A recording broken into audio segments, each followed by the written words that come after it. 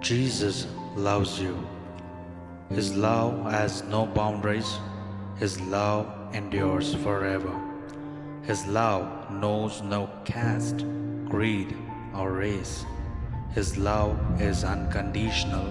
His love is amazing grace. His love is unstoppable. You sin, you run away from Him, but His heart eagerly waits for you. He bestows His blessings on you.